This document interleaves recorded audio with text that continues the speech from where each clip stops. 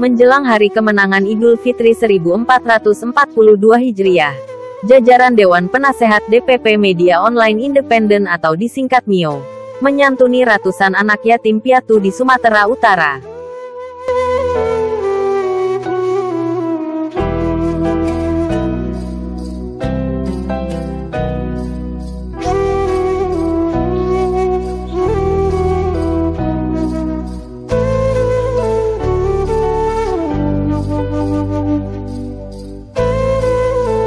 Pitra Romadoni selaku Hat Mio atau yang akrab disapa Bang Pitra berharap dengan hadirnya Mio di tengah-tengah masyarakat yang kurang mampu ditambah situasi COVID-19 yang sangat sulit ini, kiranya dapat meringankan dan membantu roda perekonomian masyarakat yang kurang mampu sehingga mereka dalam menyambut Hari Raya Idul Fitri ini dapat merasakan hari kemenangan tersebut, ujarnya.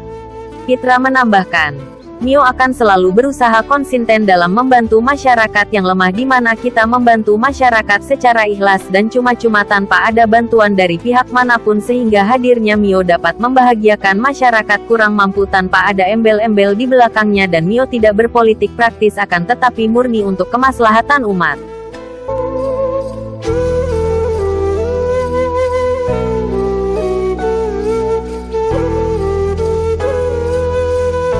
Alhamdulillah sudah ratusan yang berjalan santunan yang kita kucurkan. Dan besok tepatnya hari Jumat tanggal 6 Mei tahun 2021 akan kita kucurkan sedekah berupa uang sebanyak 200 orang di berbagai desa di Kap. Padang Lawas. Insya Allah ini dapat memberikan keberkahan buat kita semua khususnya untuk kemajuan organisasi pers media online independen ke depannya. Tutupnya secara terpisah di Jakarta. Ketum Mio AYS Prayogi sangat mengapresiasi kegiatan yang dimotori Wan Mio yang juga pengacara muda beken tersebut. Yogi juga sangat setuju pernyataan Pitra tentang independensi Mio. Saya sangat setuju tidak berpolitik praktis. Giat ini murni untuk kemaslahatan.